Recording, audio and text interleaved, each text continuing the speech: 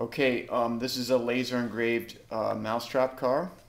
This is the mousetrap car profile, and these are the, the front wheels. This is the mousetrap. This is the rear C CD wheel. This is a uh, laser engraved etching. This is laser engraved score lines, and then these were cut. All right. When you make the uh, lines with Inventor, these cut lines will be red, these will be blue, and you'll just leave these black and just use the text tool. You can see that this is the first, uh, the first uh, prototype because there's a mistake that was made here. This is the back side of the laser engraver, which says SCSD laser engraving.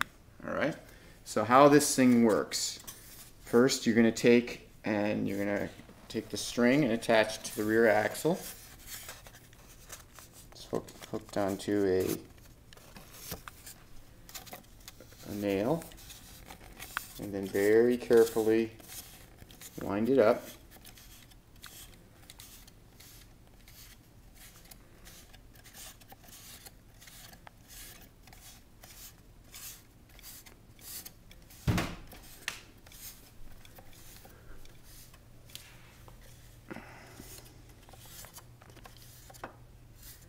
It back as far as you can go without breaking it.